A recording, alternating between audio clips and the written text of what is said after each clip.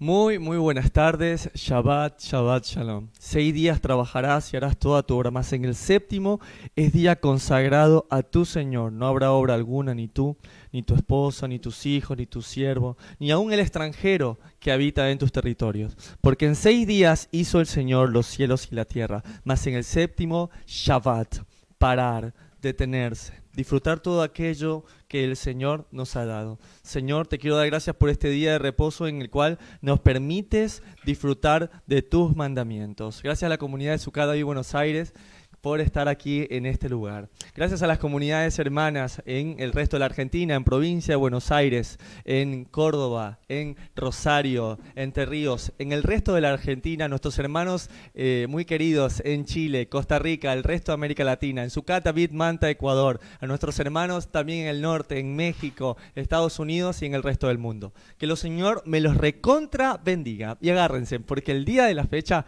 estudiaremos la segunda carta de la apóstol Kefa, del apóstol Pedro, en el capítulo 2. Y la verdad que la primera parte o el capítulo 1 de Segunda de Pedro dejó algo bastante contundente y es lo que dice Segunda de Pedro, capítulo 1 y verso 19. Tenemos también la palabra profética más segura a la cual hacéis bien en estar atentos como una antorcha que alumbra en un lugar oscuro. Realmente, si alguien podría jactarse de experiencia, si alguien podría decir, no, es que lo que yo viví o lo que yo escuché no lo escuchó nadie, fue el apóstol Pedro. ¿sí? En el aspecto de estar con él tres años, de poder ser y ser testigo de sus milagros. Sin embargo, el mismo Pedro, ¿sí? si tuviera que elegir, como les quise poner aquí, ¿qué tiene entonces más valor para Pedro? ¿Una experiencia sobrenatural o la palabra? ¿Qué es la palabra? Lo que siempre para mí suena como el Edén. ¿sí? Génesis, Éxodo, Levítico, Deuteronomio y Números. Ese el Edén de Dios.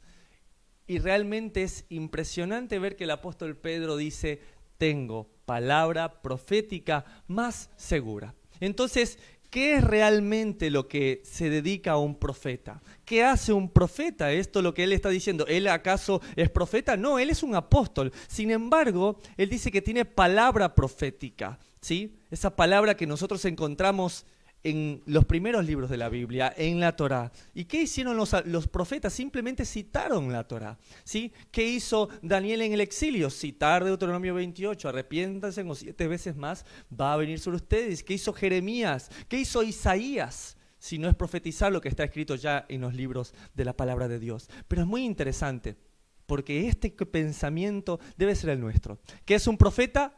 Alguien que habla de la palabra de Dios. ¿Sí? Nosotros podemos profetizar ahora, hablar de lo que los profetas dijeron en su momento. Pero es muy importante porque el pueblo celoso de Dios no es aquel que viene y dice, yo creo a tal persona porque dice que Dios le habla. Amén si Dios puede usar y Dios puede hablar a nuestras vidas. Pero con respecto a la palabra de Dios, lo que un profeta dice debe estar sustentado en la palabra de Dios. De hecho, permítanme y vayan conmigo al libro de Isaías, capítulo 6 y verso 1. Eh, Isaías dice, en el año que murió el rey Usías, vi yo al Señor sentado sobre un trono alto y sublime y sus faldos llenaban el templo. Y esto es muy interesante. Sé que muchos recordarán al rey Usías, este hombre que realmente creo que fue uno de los reinados más exitosos que tuvo Israel, claro que sí, a cargo de él. Sin embargo, dice, como es la gran mayoría de las veces, llegó un momento que se llenó de orgullo y dice que él quería quemar incienso en el altar de Dios, algo que solamente se le permitía a los sacerdotes, y se llenó de orgullo, y cayó una lepra, y murió como un leproso apartado. La gente en Jerusalén, en Israel, decía, Israel no tiene rey. El trono de Israel está vacío. Sin embargo, justamente cuando muere el rey Usías y mientras Israel dice que no tiene rey, dice el mismo Isaías, Isaías que él ve al trono de Dios. Quiere decir que a pesar de que no había un rey físico, Dios sigue reinando. Algo interesante también de recordar, querida familia, es que el mismo relato, si a algunos les, les interesa, es que Él dice que ve al Señor. Vi yo al Señor. Y es ahí cuando nenas como esta que vienen al estudio bíblico son las que me gusta eh, recalcar. Y ella me dice, pero en Éxodo 33, 20 dice, no podrás ver mi rostro porque no me verá hombre y vivirá. Uh, la nena tiene razón. La de al lado que dice, le contaré esto al rey Manasés, al rey Manasés. De hecho, eso es lo que pasa y los que quieran ahondar un poco más en antigua literatura judía, em, busquen el libro de los pseudoepigráficos, libros muy interesantes en la cual cuentan que el rey Manasés mandó a matar al rey Isaías. De hecho, no lo quiso, porque ya había profetizado mal de su reino. Con esto, Isaías dice que vio a Dios, ¿no? Sí, lo vio. Bueno, dice Éxodo 33:20 que tú no puedes ver a Dios. Y con esa excusa lo mandó a matar. ¿Sí? me gusta mucho porque dentro de los escritos rabínicos lo que se enseña es que no es que él vio realmente directamente a Dios, sino que lo vio como un vidrio empañado. Es lo mismo que dice también Juan capítulo 1 y verso 16, cuando dice que nadie ha visto a Dios solamente al unigénito del Padre, aquel que es la imagen del Dios viviente. Nosotros sabemos que Isaías no vio a Dios, Isaías vio al Mesías de Israel. Ahora ya podemos tener la revelación de eso. Lo que digo es que un profeta no puede hablar en contra de la palabra de Dios. Esa es la importancia. Si una persona viene a tu vida y te dice, yo quiero enseñarte algo, muéstrame dónde está en la Biblia. Esto que tú me estás queriendo enseñar está perfecto, muéstrame dónde está en la palabra de Dios. ¿Sí? ¿Por qué es importante esto? Porque si no vamos a empezar a creer que cualquiera puede ser profeta y que cualquiera puede venirnos a hablar de parte de Dios. Así que acompáñenme a Efesios capítulo 2 para entender si es posible que alguien en estos tiempos nos pueda decir que es un profeta que viene de parte de Dios con palabras nuevas. Verso 17 de Efesios 2 dice, y vino y anunció las buenas nuevas de paz a vosotros que estabais lejos y a los que estaban cerca. 18, porque por medio de él los unos y los otros tenemos entrada por un mismo espíritu al Padre. Así que ya no sois extranjeros ni advenedizos, ciudadanos de segundo nivel, de segunda categoría, arrimados, sino con ciudadanos de los santos y miembros de la familia de Dios. Verso 20, edificados sobre el fundamento de los apóstoles y profetas, siendo la principal piedra del ángulo Jesucristo mismo. O sea, ¿qué quiere decir? Si esto es un edificio y ya hemos pasado 21 eh, siglos, 21 generaciones, estamos viviendo en el piso 21 un edificio, Alguien no puede venirnos a decir ahora, no, yo ahora voy a cambiar el fundamento porque yo ahora soy un profeta y traigo una palabra que es, entonces deberíamos seguir escribiendo la Biblia. Ya no, Efesios 2, el apóstol Pablo está diciendo que nosotros estamos siendo edificados acá arriba donde estamos sobre el fundamento de apóstoles y profetas. ¿Sí? Eso ya está, está abajo. La cabeza del ángulo, la piedra que se usa en una construcción, como lo hemos estudiado, para darle lineamiento a la edificación, ya fue puesta. Nosotros no vamos a modificar fundamentos, nosotros estamos volviendo a los fundamentos de la fe, pero nosotros simplemente estamos más arriba siguiendo ese fundamento. Y esto es súper importante porque lo mismo le puede pasar al Mesías. Y de hecho con eso lo tentaban en Juan capítulo 10 y verso 31. Entonces los judíos volvieron a tomar piedras para apedrearle. Jesús les respondió, muchas buenas obras os he mostrado de mi Padre. ¿Por cuál de ellas me van a apedrear? Les respondieron los judíos diciendo, por buena obra no te vamos a apedrear, sino por blasfemia, porque tú siendo hombre te haces Dios. 34 Jesús les respondió, ¿no está escrito en vuestra ley, yo dije, dioses soy? Esta palabra Dios es la palabra Elohim, jueces soy. Verso 35, si llamó dioses a aquellos quienes vino la palabra de Dios, habla de los profetas, y la escritura no puede ser quebrantada. Atención, Sucada y Buenos Aires. Nuestro Mesías dice que lo que está escrito ahora no puede ser quebrantado. Al que al Padre santificó y envió al mundo, vosotros decís, tú blasfemas porque dije, hijo de Dios sois.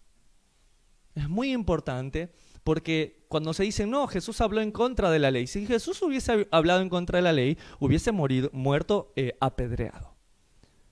Querían tentarlo, querían que diga algo en contra de la ley, nunca pudieron. ¿sí? Malinterpretaron ciertas cosas, estuvo en contra de la ley oral, de las tradiciones, pero no en contra de la palabra de Dios. Entonces es muy importante entender qué es un profeta, que ya fueron estipulados, que ya fueron fundamentos, que son fundamentos inamovibles de nuestra fe y que como lo sigue diciendo Primera de Pedro, como Segunda de Pedro capítulo 1 como lo estudiamos, entendiendo primero esto que ninguna profecía de la Escritura es de interpretación privada, porque nunca la profecía fue traída por voluntad humana, sino que los santos hombres de Dios hablaron siendo inspirados por el Espíritu Santo. Nada más. Que es un profeta es alguien que tiene una función muy importante, que es llamar al pueblo al arrepentimiento, al volver a la palabra de Dios, a la palabra profética más segura. Sin embargo, Segunda de Pedro, capítulo 2 y verso 1, continúa diciendo, pero hubo también falsos profetas entre el pueblo, como habrá entre vosotros también falsos maestros, que introducirán encubiertamente herejías destructoras y aún negarán al Señor que los rescató, atrayendo sobre sí mismos destrucción repentina. Entonces, ¿de dónde saca esto Pedro? Para Pedro entonces, ¿qué es un profeta? ¿O qué sería lo contrario? Un falso profeta. Acompáñenme a Deuteronomio capítulo 4 y verso 1. Eh, la palabra de Dios dice, ahora pues, oh Israel, oye los estatutos y decretos que yo os enseño, para que los ejecutéis y viváis y entréis y poseáis la tierra que el Dios de vuestros padres os da. No añadiréis a la palabra que yo os mando, ni disminuiréis de ella para que guardéis los mandamientos de vuestro Dios que yo os ordeno. ¿Qué sería un falso profeta? ¿Qué sería un falso maestro? Uno que te dice, no, no, eso ya no está, hay que disminuirle a la palabra de Dios. ¿Tienes toda la Biblia? No, tú quédate con el Nuevo Testamento. ¿No les pasó ir a un hotel y que siempre debajo de la lucecita siempre había un Nuevo Testamento? Sí, no, tú lo del Antiguo Testamento olvídate, eso era para los judíos y el Nuevo. No vas a disminuir a mi palabra, dice. Tampoco vas a añadir, como en el caso de nuestros hermanos muchas veces. Vamos a añadirle un nuevo libro. Sí, sí, la Biblia es la palabra de Dios, pero en nuestra religión tenemos el libro de la denominación. No añadiréis y no quitaréis. Pero alguien me podrá decir, ¿existe algo en la palabra que me ayude a mí a saber cuando llega un falso profeta? Por favor, acompáñame a Deuteronomio capítulo 13 y verso 1. La palabra de Dios dice, cuando se levantara en medio de ti profeta, o soñador de sueños, hermano, yo soñé ayer con esto que tú ibas a hacer. Y te anunciaré señal o prodigios. Atención, su Cataví Buenos Aires, verso 2. Si se cumpliere aún la señal o prodigio que él te anunció diciendo, vámonos en pos de dioses ajenos, que no conociste y sirvámosle, no darás oído a las palabras de tal profeta ni a tal soñador de sueños, porque el Señor vuestro Dios os está probando. Dios va a permitir esas señales, Dios va a permitir eso para qué? Para probarte tu corazón. Viene Moisés y convierte un palo, una vara en serpiente. ¿Y qué hicieron los que trabajaban con el faraón? Hicieron los mismos milagros, hicieron las mismas señales. Dios está probando para saber si amáis a vuestro Dios con todo vuestro corazón y con toda vuestra alma. En pos de vuestro Dios andaréis, a Él temeréis, guardaréis sus mandamientos y escucharéis su voz. Wow, Dios va a permitir aún cosas sobrenaturales para ver si realmente amamos al Señor con todo nuestro corazón. Pero miren lo que dice más adelante en Deuteronomio 18, verso 18, que es un verdadero profeta. Lo está diciendo el mismo Señor. Profeta les levantaré de en medio de sus hermanos como tú. Está hablando de Moisés. Y pondré mis palabras en su boca y les hablaré a todo lo que yo le mandare. Mas a cualquiera que no oyere mis palabras, que él hablare en mi nombre, yo le pediré cuenta. El profeta que tuviere la presunción de hablar palabra en mi nombre, a quien yo no le haya mandado hablar, o que hablare en nombre de dioses ajenos, el tal profeta morirá. Pongan atención porque el verso 19 dice, mas a cualquiera que no oyere mis palabras, que él hablare en mi nombre, yo le pediré cuenta. Apa, el que no se cuadra ante Moisés, ante el profeta que Dios levantó, Dios va a pedir cuentas. Dios habló, Dios le dio la ley a Moisés, dio instrucciones para nosotros, palabras de vida. Y el que dice, no, yo, no estoy de acuerdo con eso, el Señor va a pedir cuentas. Sin embargo, esta nena, muy estudiosa la palabra, sigue sacando haces bajo la manga y me dice, acá yo de vuelta, hermano. ¿No dice en Efesios 4 que él instituyó profetas, apóstoles, etcétera? La niñita al lado dice, sí, sí, yo, yo conozco varios apóstoles y profetas. Acompáñenme a Efesios capítulo 4 y verso 1 para entender realmente qué quiere decir este pasaje. Yo pues preso en el Señor, está hablando el apóstol Pablo, Shaul, os ruego que andéis como es digno de la vocación con que fuisteis llamados, con toda humildad y mansedumbre, soportándoos con paciencia los unos a los otros en amor. Hermano, es un mandamiento, soportar a mi hermano en amor es un mandamiento. Solícitos en guardar la unidad del espíritu en el vínculo de la paz. Un cuerpo, un espíritu, como fuisteis también llamados en una misma esperanza de vuestra vocación. Verso 5, un Señor, una fe, un bautismo un Dios y Padre de todos, el cual es sobre todos y por todos y en todos. Verso 7. Pero a cada uno de nosotros fue dada la gracia conforme a la medida del don de Cristo. 8. Por lo cual dice, subiendo a lo alto, llevó cautivo, cautiva a la cautividad y dio dones a los hombres. Estamos a punto de ver el instituyó profetas, instituyó apóstoles. Sin embargo, el apóstol Pablo, cuando habla de este tema, dice, subiendo a lo alto, llevó cautiva la cautividad y dio dones a los ¿De dónde saca Pablo eso? ¿De dónde saca el tema de los instituyó apóstoles? ¿Cuál es el contexto? ¿Qué está en la mente del apóstol Pablo? ¿Estará pensando en la nueva religión inventada por Roma? ¿Estará pensando en denominaciones religiosas? ¿En qué está pensando el apóstol Pablo? Acompáñeme a Salmo 68, donde está textualmente el pensamiento del apóstol eh, Pablo. Dice el verso 7, oh Dios, cuando tú saliste de delante de tu pueblo, cuando anduviste por el desierto, hermano, espera, espera. Vos me estás diciendo que cuando Pablo estaba hablando de que los instituyó apóstoles, profetas, maestros, él estaba pensando en el pueblo que salió del desierto. Estaba pensando en Israel que salía de Egipto. Es lo que nos muestra la palabra. Verso 8. La tierra tembló, también destilaron los cielos ante la presencia de Dios. Aquel Sinaí tembló delante de Dios, del Dios de Israel. Abundante lluvia esparciste, oh Dios. A tu heredad exhausta tú la reanimaste. Los que son de tu grey han morado en ella. Por tu bondad, oh Dios, has provisto al pobre. Verso 11. El Señor daba palabras, no Moisés. El Señor daba palabra. Había grande multitud de los que llevaban las buenas noticias. Increíble. Verso 15. Monte de Dios es el monte de Bazán, monte alto el de Bazán. ¿Por qué observáis, oh montes altos, al monte que deseó Dios para su morada? Ciertamente el Señor habitará en él para siempre. Los carros de Dios se cuentan por veintenas de millares de millares. El Señor viene del Sinaí a su santuario. Atención, su y Buenos Aires. Subiste a lo alto, cautivaste la cautividad y tomaste dones para los hombres. El pensamiento del apóstol Pablo cuando Dios instituye ministros es, él cautivó a la cautividad. ¿Qué quiere decir? Israel estaba cautiva en Egipto. Eran presos, esclavos, cautivos. Dios cautivó a la cautividad. ¿Qué quiere decir? A los esclavos de Egipto los hizo esclavos para Él. Los hizo esclavos por amor. Lo sacó de la ley de Egipto de esclavitud y les mostró una nueva ley. Una ley que es una ley de amor. Por eso él dice, cautivó a la cautividad. Entonces, si entiendes en lo que está pensando el apóstol Pablo, ya puedes entender lo que está diciendo en Efesios 4, verso 9.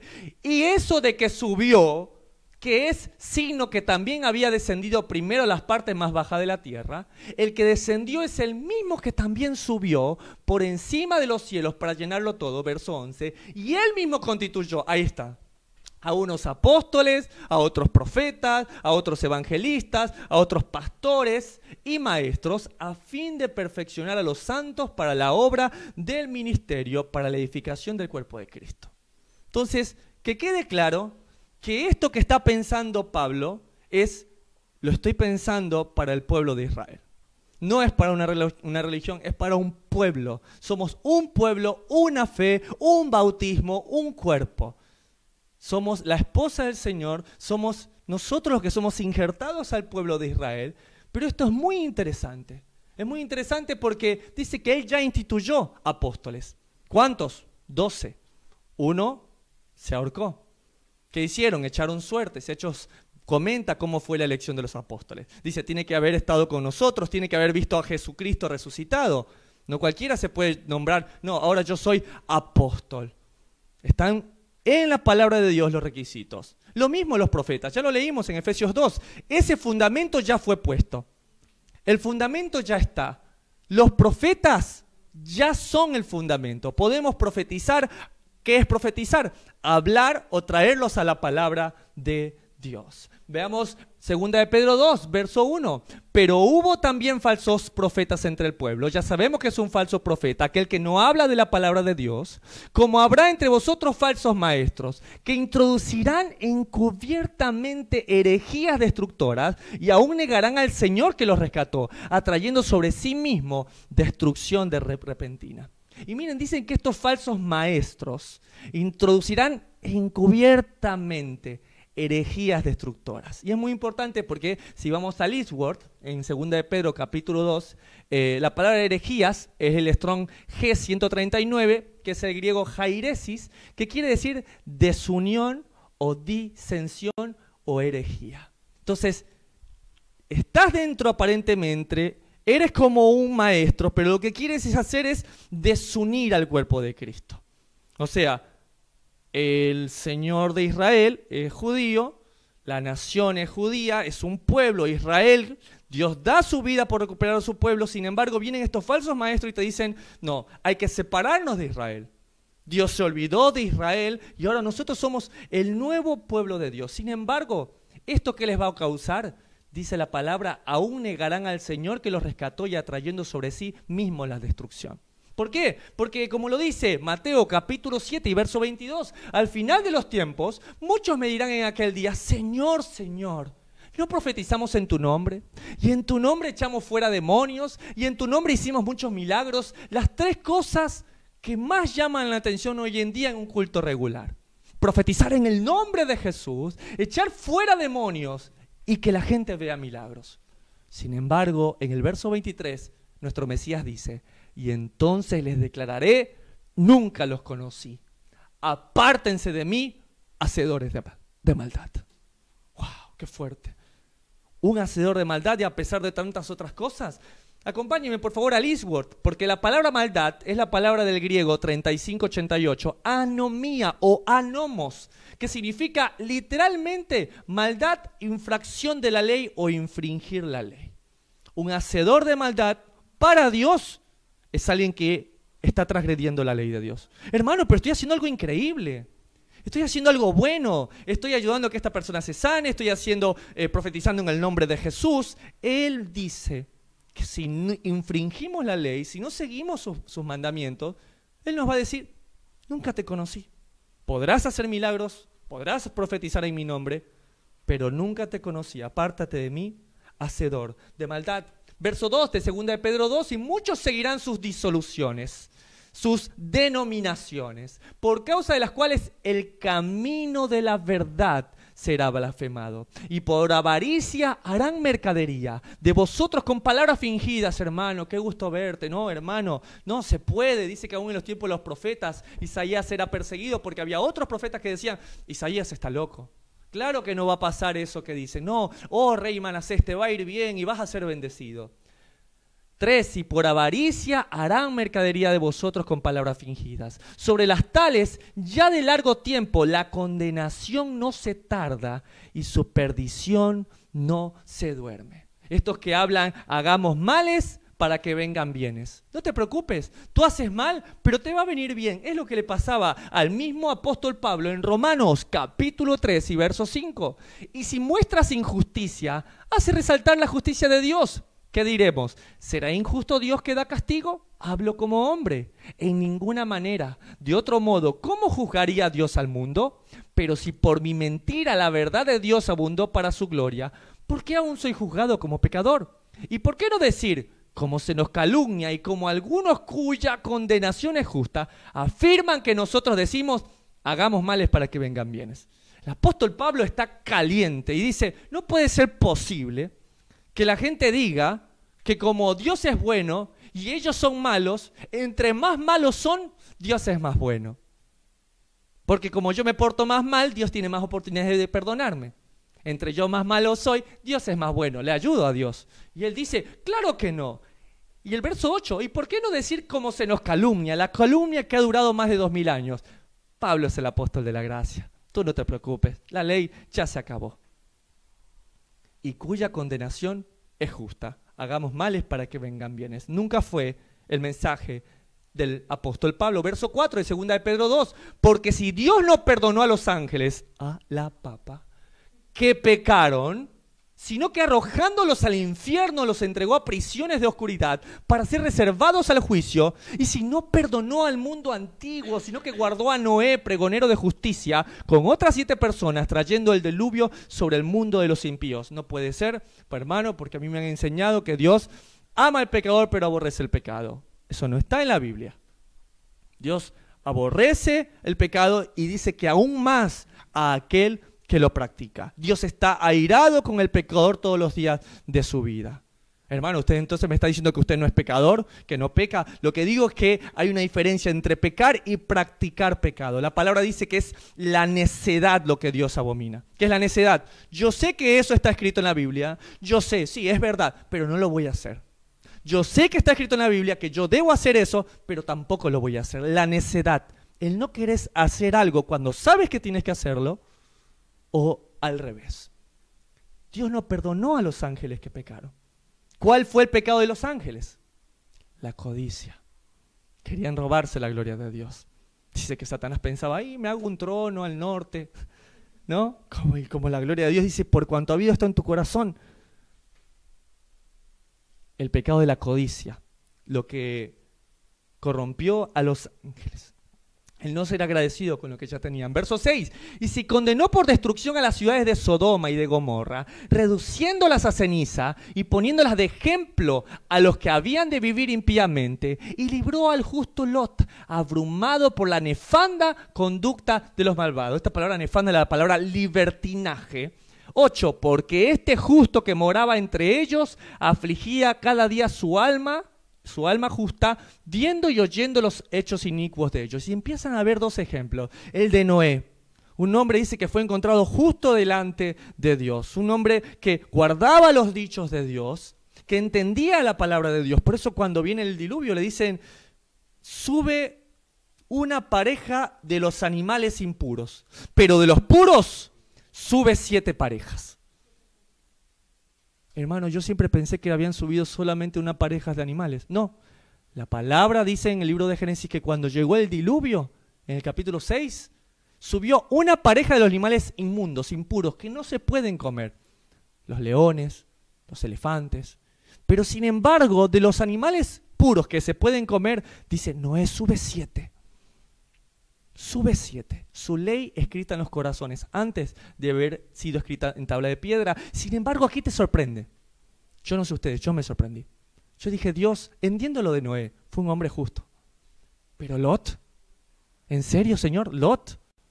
Y dice que él se afligida por los pensamientos inicuos de ellos. ¿Qué es inicuo? Acompáñenme al estrón a Elisword, segunda de Pedro 2.8, donde la palabra inicuos es la palabra G459, que es la palabra, adivinen, anomía.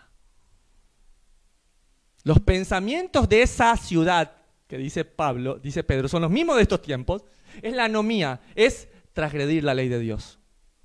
¿Ven? No hay nada nuevo bajo el sol. Lo mismo que pasó en el tiempo de Noé, lo mismo que pasó en la tierra de Sodoma y Gomorra es lo mismo de ahora. Infringir la ley de Dios. Pero a mí lo que me impactó, querida familia, es porque yo tenía otro pensamiento de Lot. Les soy honesto. Todos sabemos esta escena de la Biblia. ¿Sí? Se empiezan a pelear los pastores de Lot con los de su tío, Abraham. Y dice, tenemos que separarnos. ¿Y qué hizo Lot? Se vio que era frondoso el camino que estaba cerca de Sodoma y Gomorra. Y cada vez se fue acercando con sus pastos. Dice que llegó a ser hasta un juez en Sodoma. Ahora, yo dije, este tipo es un mundano. Tenía a Abraham con el pacto, decidió acercarse a la tierra de Sodoma y Gomorra. Ese fue mi prejuzgamiento. Sin embargo, lo que dice segunda de Pedro 2.8 me impactó porque dice, porque este justo, hablando de Lot, moraba entre ellos y afligía cada día su alma justa, viendo y oyendo los hechos inicuos de ellos. ¿Sabes qué? Dios conoce el corazón de las personas, aunque a veces los frutos no sean los adecuados. ¿Fue una mala decisión? Fue una mala decisión. ¿Estaba en el lugar equivocado? Estaba en el lugar equivocado. Pero Dios conocía el corazón de Lot. Le llama, inspirado Pedro por el Espíritu Santo, le llama justo y que afligía cada día su alma justa. Por eso mismo le permite Dios, estando hablando con Abraham, Abraham, conociendo el corazón de su sobrino Lot, empieza a decir, Señor, y si hubiese 50, y si hubiese 40, y si hubiese 30, ¿para que Para salvar a su sobrino, porque le amaba. Me impacta porque Dios mira lo que yo no veo. Dios a veces, aún de los frutos equivocados, Él está mirando el corazón. El corazón de un hombre llamado Lot. Verso 9 de segunda de Pedro 2. ¿Sabe el Señor librar de tentación a los piadosos y reservar a los injustos para ser castigados en el día del juicio? Y mayormente aquellos que siguiendo la carne andan en concupiscencia e inmundicia. Concupiscencia es la inclinación que tendemos al mal. Y desprecian el señorío. Atrevidos y contumaces. Contumaces es rebeldes. No temen decir mal de las potestades superiores. Imagínense. Dice el 9 que sabe el Señor librar de tentación a los piadosos. Antes cantábamos al, al Padre que siempre soñé, ¿no? Nuestro Padre, lo que dice la palabra, ¿no? Señor, líbranos de todas las tentaciones.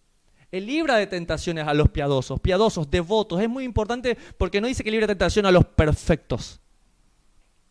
No es a los perfectos, es a aquellos que son devotos, a aquellos que dicen, ¿sabes qué Dios? Yo me equivoco, yo tengo muchísimos errores, pero ¿sabes qué? En mi corazón hay devoción. ¿Sí? Consigo tanta gente que me dice, ¿sabes qué? Yo necesito tener esta devoción con Dios, no sé, me equivoco, pero yo lo busco de todo mi corazón y en mi corazón hay una devoción por buscar de su palabra. Eso es lo que está diciendo aquí. Pero también reserva, dice, a los injustos para ser castigados en el día de juicio. Aquellos que desprecian el señorío. El mismo Señor lo dijo. Todos me dicen Señor, Señor, pero ¿sabes qué? Ninguno de ellos me obedecen y los describe a estos que van a ser castigados en el día del juicio. Dice, son atrevidos, son contumaces, rebeldes, no temen decir mal de las potestades superiores. Ahora, es muy interesante, porque las potestades que son puestas por Dios, superiores, pueden ser tanto celestiales como no celestiales. Veamos en el ejemplo de las celestiales.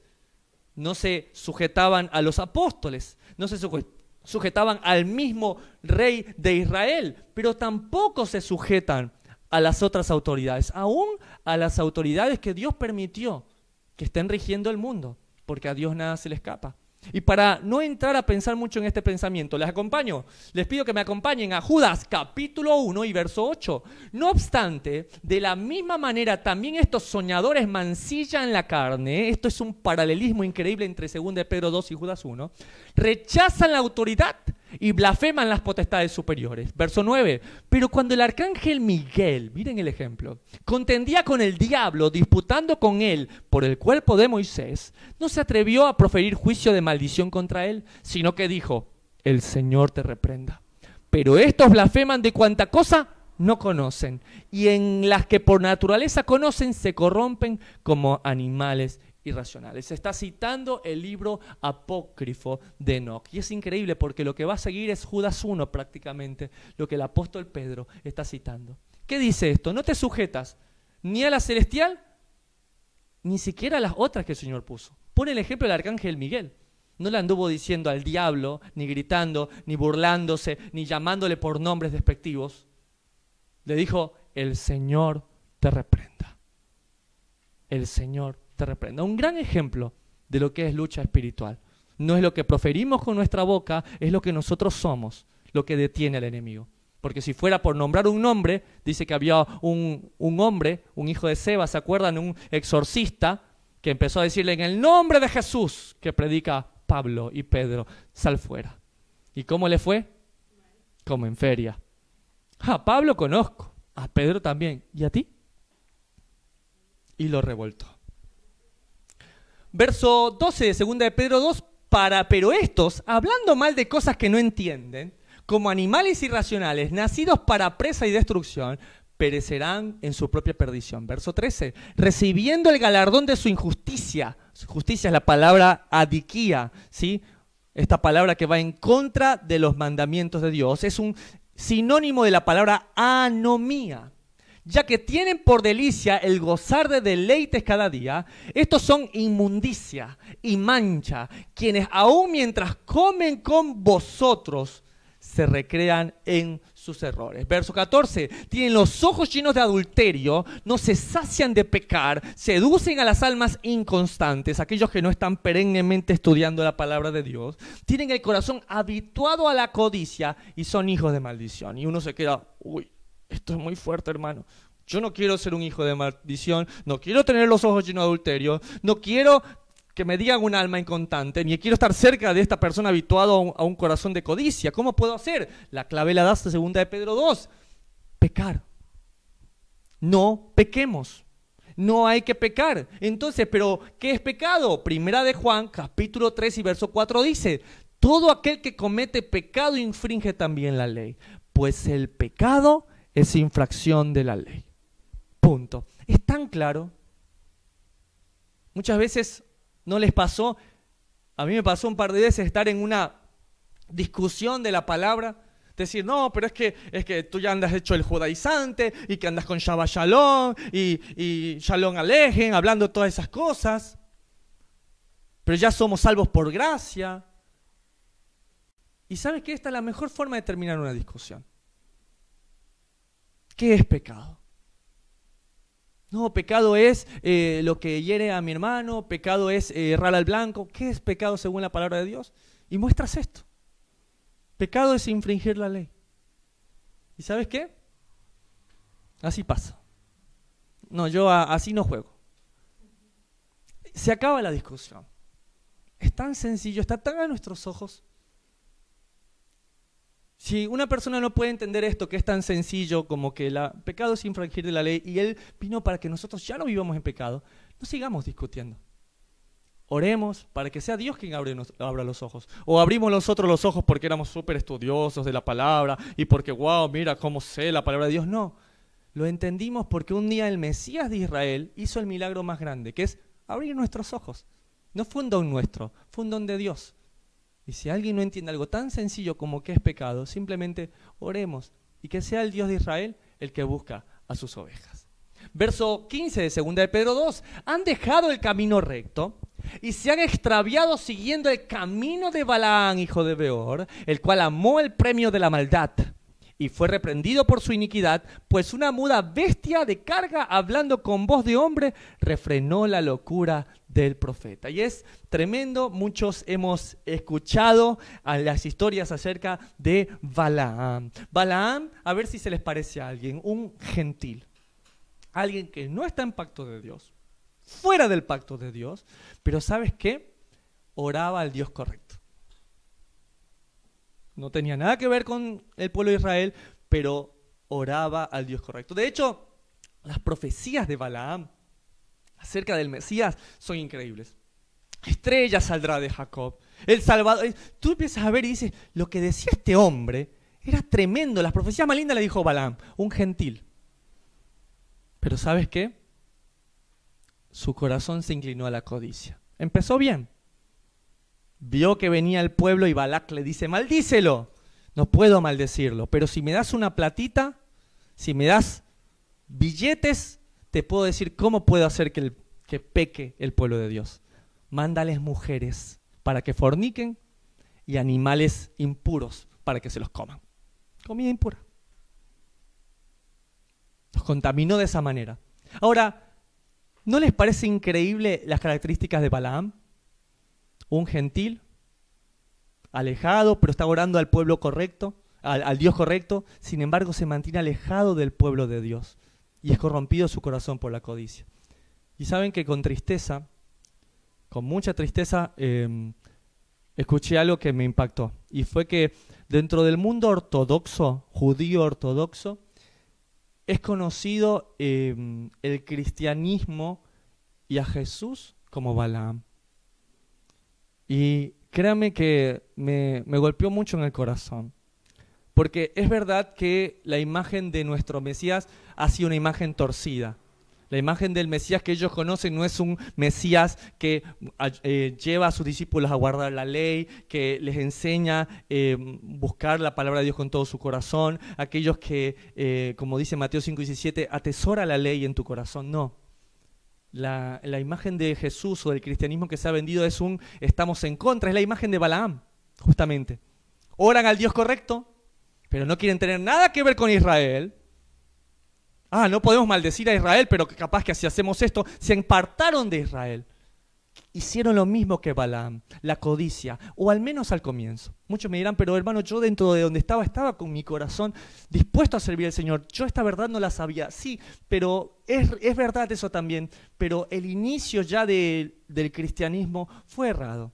Fue como el de Balaam pudieron haberse injertado al pueblo de Dios, sin embargo, se hicieron aparte. Es lo que pasó en el año 321 con eh, Cristótomo, con eh, Tertuliano, con Constantino. Dijeron, miren, allá está el pueblo de Israel, pero nosotros vamos a hacer una nueva nación, una nueva religión. Esto da money, esto da plata. Vamos a hacer nosotros una nueva religión y vamos a maldecir al pueblo de Israel. Todo aquel que guarde Shabbat será un hereje. Ya no vamos a guardar el Shabbat porque eso es judío. Ahora vamos a celebrar al día del sol, Sunday, domingo. Ahora vamos a guardar el domingo. Nada que la el Pesach, las fiestas bíblicas, nada de eso. Eso es judío. Vamos a celebrar Navidad, que es el nacimiento de Nimrod. Vamos a, celebrar Año Nuevo. Todo, todo. O sea, estas personas que están acá determinaron nuestra fe. Y aunque con dolor puedo decir este comentario que hicieron acerca del cristianismo y con Balaam, tienen cierta razón también. Por eso tenemos que volver a nuestras raíces, tenemos que volver a la palabra de Dios. Verso 17 de 2 de Pedro 2. Estos, estos maestros, estos que son como Balaam peor, son fuentes sin agua y nubes empujadas por la tormenta, para las cuales la más densa oscuridad está reservada para siempre. ¿Qué es el agua? La palabra. Alguien al que quiero mucho me dijo hace algún tiempo, me dijo, hermano, yo necesitaba volver a estudiar la Biblia. ¿Y qué hiciste? Empecé a leerla. ¿Por qué? Porque ya estaba tan acostumbrado que el lugar donde iba, donde se suponía que tenía que estudiar la Biblia, eran otras cosas, mensajes de hombres, eh, historias bonitas, experiencias de vida, cosas humanas. Pero ¿sabes qué? Leer la Biblia de tapa a tapa, empezar versículo por versículo, ¿sabes qué? Eso, eso no lo veo. Y tenía una sed de eso. Fuentes sin agua. Ahora, ¿de dónde está hablando esto? ¿De dónde saca el apóstol Pedro esto? Y adivinen, lo saca de Jeremías capítulo 2, verso 13, cuando dice, porque dos males ha hecho mi pueblo. Me dejaron a mí, fuente de agua viva, y cavaron para sí cisternas, cisternas rotas que no retienen agua. Hermano, ¿por qué me va mal a mí? ¿Por qué siento que todo lo que hago y siento que la vida se me pasa y siento que... Y es porque no bebemos del agua viva, de su palabra. Sí, no son las luces, la buena música, sí, eh, el acondicionador, el todo. no, no, no. Es el hecho de poder sentarte y agarrar la palabra y decir, wow, realmente esto es agua viva, esta palabra me lava, esto es lo que hace brotar dentro de mí ríos de agua viva. Conocerán la verdad y la verdad los hará totalmente, totalmente libres. Verso 18 de 2 de Pedro 2. Pues hablando palabras infladas y vanas, ¿sí? palabras llamativas, dice que el inicuo convence con su forma de hablar. Seducen con concupiscencia de la carne, con esa inclinación al mal, y disoluciones a los que verdaderamente habían huido de los que viven en error. Y les prometen libertad y son ellos mismos esclavos de corrupción, porque el que es vencido por alguno es hecho esclavo del que lo venció. No, hermano, que usted no, se someta a eso del Shabbat porque eso es esclavitud. Dos horas quise explicarle a mi hijo que el Shabbat era esclavitud para que entienda lo que se dice de él. Y no lo pudo, no lo pudo entender. Mi hijo no pudo entender por qué dicen que el Shabbat es esclavitud. No pudo entender por qué el Shabbat es esclavitud, porque el viernes en la noche hasta el sábado su papá se queda con él, hablan de la palabra, tienen una cena con los amigos. No, no lo pudo entender. Les prometen libertad. No, no, es que si tú dejas esa ley, vas a vivir en libertad. La única forma de ser libre, hermano, es que usted se olvide esas leyes judías, esas leyes de Moisés. Usted tiene que ser como David, que David saltaba, David cantaba, remolineando, remo. Ese es David, feliz, libre. Pero acompáñenme, por favor, a Salmos 119, verso 43. El mismo David escribe esto. No quites de mi boca en ningún tiempo la palabra de verdad, porque en tus juicios espero. Guardaré tu ley siempre, para siempre, y por si no era suficiente, eternamente. Y andaré en libertad porque busqué tus mandamientos. Hermano, yo quiero vivir en libertad. Por eso la palabra dice, cautive a los cautivos. ¿Quieres vivir en libertad? ¿Dónde está tu ley? ¿Dónde están tus mandamientos, Señor? ¿Dónde están tus preceptos? ¿Dónde están tus juicios? Tú lees esto. ¿De qué te vistes cuando lees estas cosas? Es tan claro y están a nuestros ojos. Borra esa mentira que la ley trae esclavitud. Él nos libró de la ley del pecado, sí, y la ley de la muerte. Verso 20, estamos terminando, segunda de Pedro 2. Ciertamente, si habiéndose ellos escapado de las contaminaciones del mundo, por el conocimiento del Señor y Salvador Jesucristo, enredándose otra vez en ellas sobre en ellas son vencidos, su postrer estado viene a ser peor que el primero. Y es muy interesante porque es exactamente lo mismo que dice Romanos 6, capítulo 1. ¿Qué pues diremos? ¿Perseveraremos en el pecado para que la gracia abunde? En ninguna manera, porque los que hemos muerto al pecado, ¿cómo viviremos aún en él? ¿Cómo viviremos aún en él? Segunda de Pedro 2, verso 21, porque mejor les hubiera sido no haber conocido el camino de justicia. Hubiera sido mejor que haberlo conocido y estar transgrediendo. No, es que estamos en la gracia, entonces pecamos para que la gracia abunde, pecamos para que la gracia abunde. En ninguna manera, dijo Pablo, porque mejor les hubiera sido no haber conocido el camino de justicia que después de haberlo conocido volverse atrás del santo mandamiento que les fue dado. Pero les ha acontecido lo del verdadero proverbio, el perro vuelve a su vómito y la puerca lavada a revolcarse en el cieno. Y recuerdo cuando empecé a buscar de la palabra de Dios y me dijeron, mira, no puedes adorar imágenes. ¿Por qué? Porque aquí en Éxodo 20 dice, no adorarás imágenes, no te inclinarás a ella, no te harás imagen de lo que está arriba en los cielos y debajo de la tierra, no las honrarás. Ah, bueno, está bien, entonces no puedo adorar imágenes, está bien. Y aquí abajo dice, guardarás el día de... Eso es para los judíos. Se volvieron atrás del santo mandamiento que les fue dado. Ese mandamiento no. Y les ha acontecido lo del verdadero proverbio el perro vuelve a su vómito y la puerca lavada a revolcarse en el cielo. ¿Lo vieron alguna vez? Es desagradable. Yo después de eso digo, yo te quiero mucho, Max, mi perro, pero no te vuelvo a besar. O sea, el perro estaba enfermo, algo había comido en la noche. Se ve que por eso son animales inmundos y no se deben comer. Y estaba muy enfermo, muy decaído, y cuando vomitó, no sé si han visto vomitar a un perro, pero no es normal el vómito para ellos. Y, ah, ah, ah", y sentía que se moría, y cuando sale una cosa media extraña que se había comido, y después de eso de estar todo enfermo, el perro ahí caminando medio muerto, después de unas horas estaba bien, y ver lo que camina y se come otra vez el vómito. No les puedo explicar la sensación que te da. La puerca recién lavada, ¿sí? Yo vengo totalmente fuera del pacto de Dios y tuve un, una puerca en mi patio. Tita se llamaba. ¿Sí? Jugábamos a que nos montábamos encima de la puerca porque éramos pequeños. ¿Cómo sufrió? Y lavarla y limpiarla para que luego se vuelva a ensuciar. el cieno, otra vez, a revolcarse en el lodo y que esto nos acontezca así como a mí me daba un dolor ver al perro que se comía el vómito y a la puerca que nuevamente se ensuciaba, me daba un dolor, me molestaba. Me imagino en el corazón de Dios lo que causamos cuando ya sabemos lo que es bueno, ya sabemos lo que es malo y nos volvemos a equivocar. ¿Y saben qué? Esto no lo voy a explicar yo, sino que se lo voy a permitir a Hebreos capítulo 10 y verso 26, porque si pecáramos voluntariamente, yo ya vomité eso, yo ya sé que es vómito. Soy una puerca lavada y nuevamente me quiero echar al lodo. Porque si pecáramos voluntariamente después de haber recibido el conocimiento de la verdad, ¿qué es verdad? Tu pa muy bien. Tu palabra es verdad. La suma de tu palabra es la verdad. Ya que no queda más sacrificio por los pecados.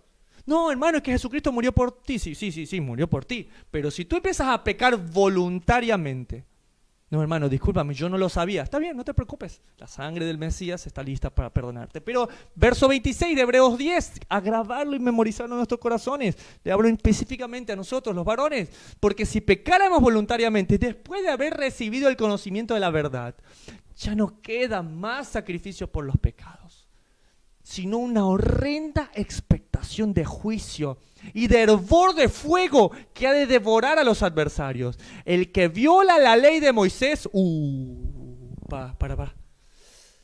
Por el testimonio de dos o tres testigos, muere irreversiblemente. Oh. ¿Qué hacemos? Eh, ¿Lo borramos? Porque es Hebreos. Pensé que había sido de Éxodo, Levítico, Deuteronomio, pero no. Es del Nuevo Testamento. Verso 29. ¿Cuánto mayor castigo pensáis que merecerá el que pisoteare al Hijo de Dios y tuviera por inmunda la sangre del pacto, en la cual fue santificado, e hiciera afrenta al Espíritu de gracia? Pues conocemos al que dijo, mía es la venganza, yo daré el pago, dice el Señor. Y otra vez el Señor juzgará a su pueblo. Horrenda cosa es caer en manos del Dios vivo. ¿Nos equivocamos? Sí. Si siete veces cayeron el justo, siete veces ha de levantarse. Es cierto. El Señor está mirando nuestros corazones. Vimos a Lot. ¿Sabes qué? Gracias a Dios que Él mira los corazones. Porque dijo Pablo, que yo quiero hacer otra cosa, pero esta ley que está en mis miembros me lleva cautivo a la ley del pecado y de la muerte. ¿Quién? Dice, ¿quién me librará? No dice qué. ¿Qué me librará o qué tengo que.? No, ¿quién me librará? Él conoce nuestros corazones. Él nos redarguye de pecado.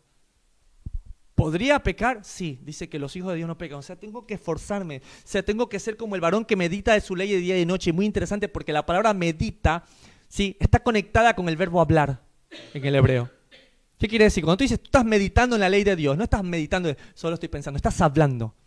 Hablando la ley de Dios, hablando la ley de Dios, hablando la ley de Dios, meditando la ley de Dios, en todo momento, en todo momento. Dios es fiel, es justo y es bueno. Conoce nuestros corazones. No va a ser un juicio colectivo, va a ser un juicio personal. Entonces nosotros vamos a tener que decir, Señor, yo me he equivocado, pero tú sabes que en mi corazón he querido guardar tus dichos para no pecar contra ti. Perdóname, de verdad, lo lamento y lo, lo siento. No quiero, no quiero ser lo que, lo que tú no quieres que sea. Yo quiero ser lo que tú anhelas. Yo quiero habitar en tu monte santo. Yo quiero caminar en integridad. Yo quiero hablar verdad en mi corazón. Yo quiero mantenerme firme aunque otros me digan que me muevan, como dice Salmo 15. ¿Sabes qué? Ahí viene el Señor. Dice que aquellos que, son de, que tienen devoción, que tienen piedad, el Señor los libra. Pero Hebreos 10 dice, aquellos que voluntariamente saben y dicen, mira, es verdad, eso dice la Biblia, pero a mí me vale. Ya está. Sí, ahí dice, pero no me importa. ¿Saben qué? No es ni nuestra obligación. El Señor, que es Rey de Reyes y Señor de Señores, juzgará pero oremos para que nosotros alcancemos misericordia. No por justicia, sino porque Él es bueno y Él es soberano. Amén. Amén. Gracias Señor te doy por el estudio de Segunda de Pedro, capítulo 2. Eres un Dios bueno, misericordioso y perdonador. No quieres estar airado contra tu creación. Sin embargo, Señor, tú ya nos diste el camino, la verdad y la vida. Nos diste una ley, un mandamiento que no está arriba en los cielos para que digamos quién va a ir por él, o debajo de la tierra, sino que está cerca de nosotros, de nuestros corazones para cumplirlo. Nos diste el ejemplo que había alguien que podía cumplir tu ley. Es nuestro Mesías y nuestro Señor, nuestro ejemplo. Su muerte en la cruz no es el fin, sino el medio para que seamos purificados. Amén. Amén.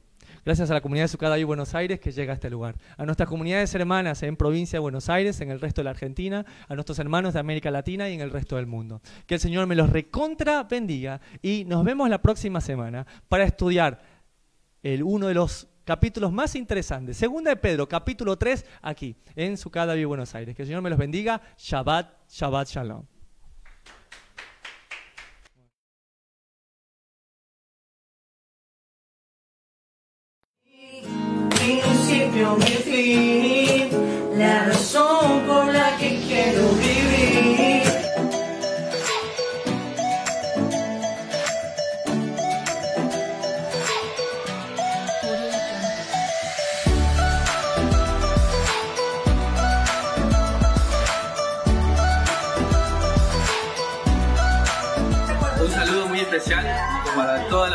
Son desafiantes. Las personas que son dispuestos y disponibles a seguir las enseñanzas de aquel que nos llamó de tiniebla a su luz a mirar. Para aquellos que son desafiantes. Vamos que ustedes pueden.